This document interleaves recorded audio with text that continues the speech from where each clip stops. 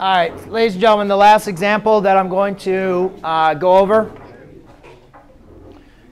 is Tyler. Uh, on this one, um, what we're basically going to be doing is rather than giving you guys two points, rather than giving you two points um, or giving you a slope and a point, now I'm going to give you guys an equation. And some of you guys might prefer a lot um, doing these problems. Because basically, if we want to rewrite this in slope-intercept form, we already have everything. We already have an equation. We just need to convert that equation to that format. And what you guys can see, the only difference between this format and that format is my y variable is isolated. So this is actually going to be something that we have already done before in this class. Solve for the y variable.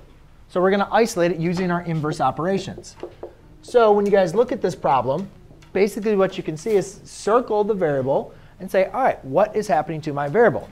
You can see my variable is being multiplied by negative 3 and it's being added by 2x. Why do you say it's being added by 2x?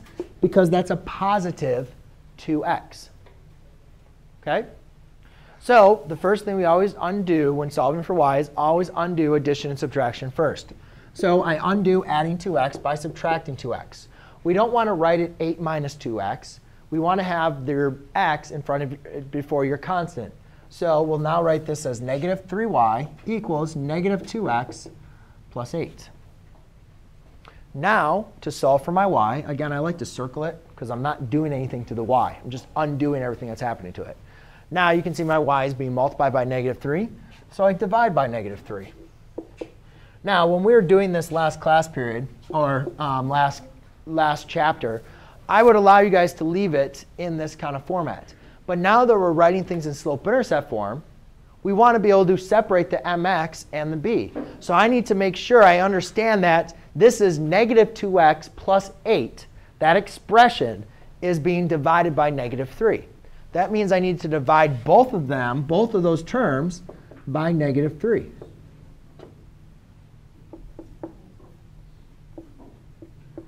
What is more complicated? Huh? I'm doing it. Oh, oh, OK. What is more complicated with it? Explain to me. The way that you talk, you like make sure you go into every single step. It's just like it ends up confusing. Is too much to remember. OK. Um, so now, basically what you're going to have is y equals negative 2x divided by negative 3 plus 8 divided by negative 3. So y equals 2 thirds x minus 8 thirds. And that will be your final answer with that. OK?